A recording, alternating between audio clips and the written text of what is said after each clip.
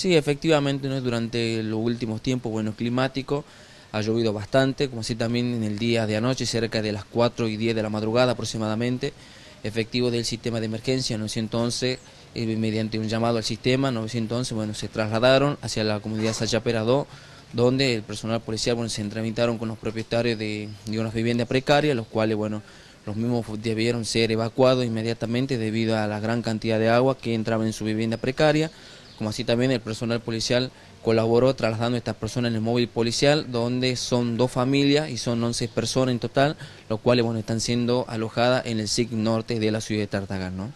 ¿En el SIC sur hay evacuados? Bueno, hasta el momento no se ha registrado ninguna novedad de personas evacuadas. ¿no? Igualmente el personal policial se encuentra trabajando debido a que esta mañana, bueno, también ha llovido bastante y bueno, se, se están esperando y se está recabando información también ¿no? sobre si hay personas evacuadas si hay personas negadas hasta el momento. ¿no? Eh, con respecto a la situación en el Chaco salteño.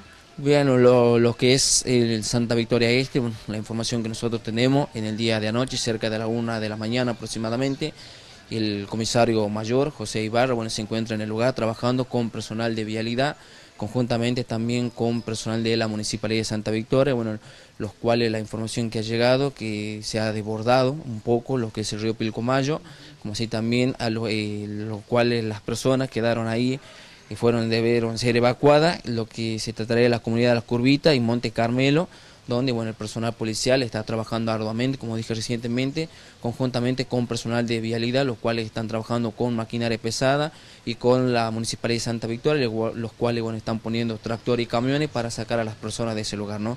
Hasta el día de anoche, cerca de las 1 o 2 de la mañana aproximadamente, el río habría crecido cerca de los 6,12 metros aproximadamente.